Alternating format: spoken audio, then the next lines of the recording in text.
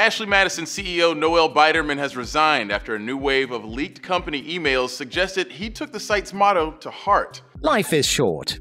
Have an affair. The self proclaimed king of infidelity, Biderman had previously denied having any affairs himself in an interview with the New York Daily News. Biderman told the Daily News he was a happily married man and father of two children. However, he did say, if I wanted to have an affair, I would have one. Biderman allegedly met a woman in a spa and had a three year relationship with her. The emails suggest the woman called off the affair, fearing her boyfriend would find out. The emails also reveal information that links Biderman to other women. But Biderman's personal information being made public is only a small fraction of the scandal. Hackers claim to have released the names and personal information of 32 million customers. Two suicides have also been linked to the leaked data, according to Canadian police, and the company is facing three lawsuits. The response to the hack has led parent company Avid Life Media to issue a $500,000 bounty on any information that would lead to the arrest of the hackers that call themselves the Impact Team. The scandal also started a US government investigation as 15,000 emails were traced back to the government and the military.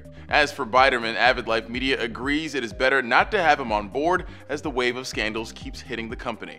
For Newsy, I'm Christian Bryant.